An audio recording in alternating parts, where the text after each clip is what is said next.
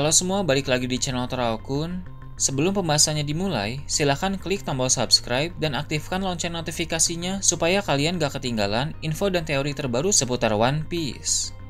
Buat kalian yang mau informasi tambahan soal SBS atau databook, kalian bisa follow Instagram Toraoku. Di sana admin akan memposting soal SBS, databook, dan berbagai teori singkat. Sekarang lanjut ke pembahasan. Bocoran One Piece Chapter 1057 telah muncul di berbagai forum. Dalam video kali ini, channel Toraokun akan menjelaskan berbagai hal menarik pada chapter kali ini. Chapter kali ini berjudul Kesimpulan. Seperti yang kita tahu dari chapter yang lalu, bajak laut topi jerami telah pamit kepada beberapa orang yang mereka kenal di Wano Kuni. Tapi mereka tidak pamit kepada Momonosuke dan Kinemon. Hal tersebut membuat Momonosuke dan Kinemon bingung, kemudian segera mencari bajak laut topi jerami. Diketahui dalam chapter kali ini, mereka berdua bersama dengan Yamato telah bertemu dengan Luffy dan kawan-kawan. Momonosuke dan Kinemon pun mengucapkan selamat tinggal kepada bajak laut topi jerami yang telah banyak membantu mereka mulai dari Pang Hazard hingga Wano Kuni. Pertemuan mereka dengan bajak laut topi jerami merupakan permainan takdir yang membawa cerita berjalan hingga sejauh ini. Di luar dugaan, ternyata Yamato juga mengucapkan selamat tinggal kepada bajak laut topi jerami. Padahal banyak orang menduga kalau Yamato akan ikut bersama dengan mereka. Namun, Yamato memilih untuk tinggal di Wano Kuni terlebih dahulu.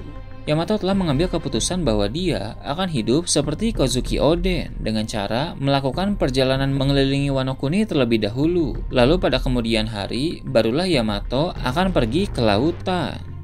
Mengingat sejak sekitar 20 tahun yang lalu Yamato terus terkurung di pulau Onigashima, maka wajar sekarang ini dia berniat mengelilingi Wano Kuni.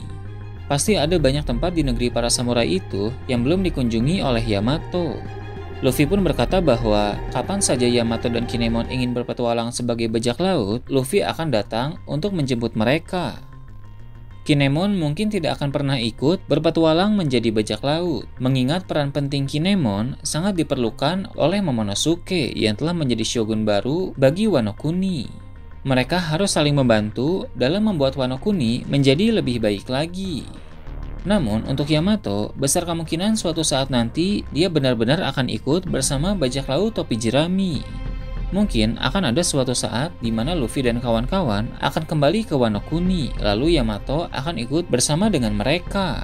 Sedangkan untuk sekarang ini, Yamato masih akan tetap tinggal di Wano Kuni.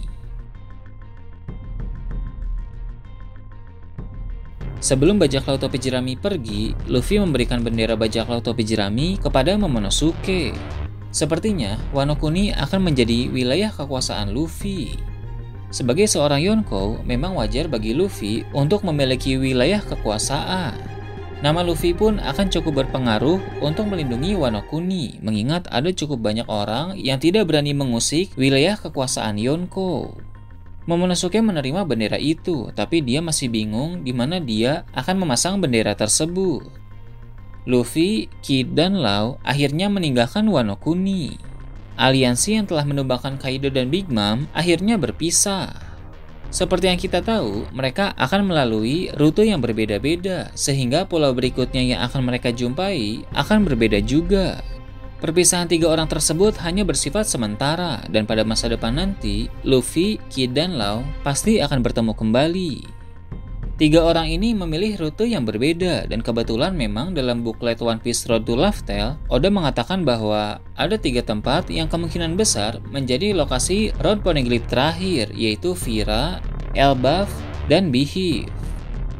Luffy dan kawan-kawan kemungkinan besar akan pergi ke Pulau Elbaf. Oda sudah memberikan clue ini dari jauh-jauh hari, bahkan sejak di Little Garden, di mana mereka pertama kalinya bertemu dengan raksasa. Usopp sangat tertarik kepada kerajaan Elbaf, bahkan dia sempat mengatakan bahwa suatu saat nanti dia akan datang ke Pulau Elbaf. Seperti yang kita tahu, perkataan Usopp ini sering sekali menjadi kenyataan, seolah ini adalah clue dari Eiichiro Oda tentang apa yang akan terjadi di masa depan nanti.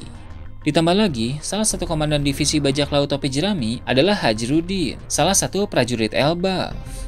Jadi, ini semakin menguatkan bahwa pulau selanjutnya yang akan didatangi oleh bajak laut topi jerami adalah Pulau Elbaf. Ada kemungkinan Pulau Elbaf ini merupakan wilayah kekuasaan Yonkou Shanks atau setidaknya Shanks pernah datang ke pulau ini. Tapi, seperti yang kita tahu, bajak laut Akagami sering berpindah-pindah pulau. Mereka senang berpetualang dan berpesta di pulau yang mereka singgahi. Jadi, meskipun jika benar Elbaf merupakan wilayah kekuasaan Shanks, Luffy tidak akan bertemu dengan Shanks di sana. Apalagi beberapa waktu yang lalu, Sang sempat datang ke Wano Kuni. Sans berkata dia belum berencana bertemu dengan Luffy karena ada hal yang harus dilakukan dulu, yaitu memberi pelajaran kepada Bartolomeo karena sudah membakar bendera bajak laut Akagami. Jadi, Sang saat ini sedang mencari Bartolomeo sehingga dia tidak berada di markas.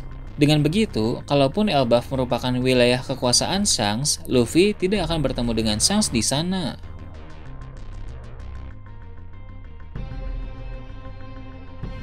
Kemudian, Kid dan kawan-kawan sepertinya akan pergi ke Pulau Bihif. Saat ini, Pulau Bihif merupakan markas dari bajak laut Kurohige. Kid mungkin memiliki takdir yang unik, yang mana dia selalu bertemu dengan Yonko. Dulu, dia pernah datang ke markas Yonko Sang, sampai-sampai dia kehilangan lengan kirinya. Lalu, dia juga bertemu dengan Yonko Kaido, kemudian dia dikalahkan dan berakhir di penjara Udon. Saat perang di Onigashima, Kid pun mendapatkan jatah melawan Yonko Big Mom. Bahkan Kid bersama dengan Lau berhasil mengalahkan Big Mom. Sejauh ini, Kid sudah menghadapi tiga Yonko, mulai dari Shanks, Kaido, kemudian Big Mom. Nah kali ini, di Pulau Bihif, Kid akan berhadapan dengan Yonko Kurohige. Entah ini sebuah kesialan atau keberuntungan, karena selalu bertemu dengan Yonko. Tapi bisa jadi, Kid tidak bertemu Kurohige secara langsung karena puluhan chapter yang lalu, Kurohige mengatakan bahwa ini saatnya mereka bergerak untuk mengambil sesuatu yang mana akan sayang bila sesuatu itu jatuh ke tangan angkatan laut. Jadi ada kemungkinan Kurohige sedang tidak berada di Pulau Bihif.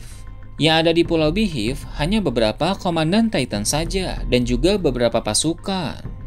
Bajak Laut Kid mungkin bisa memberikan perlawanan kepada beberapa komandan Titan, karena jika Kurohige langsung yang berhadapan dengan Kid, bisa dipastikan Kid akan kalah. Lalu, Lau dan kawan-kawan akan datang ke Pulau Vira. Belum banyak informasi soal pulau ini, tapi ini menjadi salah satu pulau yang kemungkinan terdapat round poneglyph terakhir. Dulu, saat awal-awal cerita berjalan, Nami pernah menyebut soal Pulau Vira. Jadi, memang Pulau Vira ini cukup terkenal, terutama di kalangan para navigator. Setelah ini, Luffy, Kid, dan Lau akan mendapatkan petualangan baru. Dalam beberapa waktu mereka akan berpisah, tapi suatu saat nanti, entah itu di Love Tale atau di perang akhir, mereka pasti akan bertemu lagi.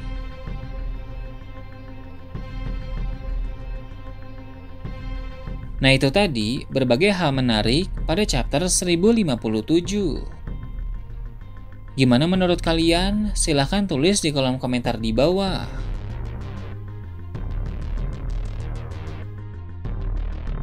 Oke segitu aja untuk pembahasan kali ini. Jangan lupa like, share, dan subscribe untuk video menarik selanjutnya. Gue Toraukun, Shambles.